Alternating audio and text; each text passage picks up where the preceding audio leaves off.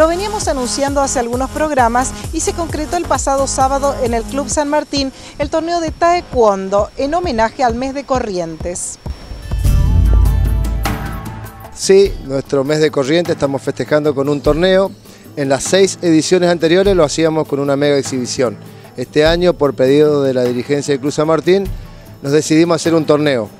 Y lo hicimos con mucho sacrificio en realidad porque tenemos 15 torneos en todo el año y no es fácil, tenemos otras actividades también, pero por suerte, bueno, estamos casi con 500 competidores. Ahora están compitiendo los chiquititos, los infantiles y por la tarde van a comenzar los adultos, juveniles y los cinturones negros. El hecho de que estén los chiquititos indica que la familia está presente y hay mucha concurrencia hoy. Esta es la parte más linda, más social que tiene el taekwondo, porque con los infantiles están los abuelos, los tíos, los papás, los amiguitos y bueno, es la parte más tierna que tiene el taekwondo. Después a la tarde ya se pone más competitivo, las luchas son más fuertes.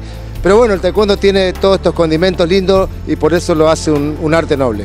¿Y ya permite adelantar un saldo más que positivo? Sí, sí, seguro. Nosotros estamos conformes.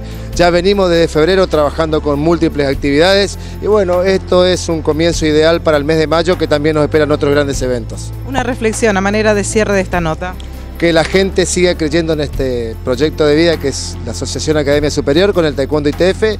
Y bueno, la gente tiene que acercarse a estos espacios donde está la familia, donde está el deporte, donde hay buenos valores, porque en la calle tenemos mucha porquería, muchos vicios, mucha contaminación y una decadencia total de valores que realmente da miedo, mucha, mucha inseguridad.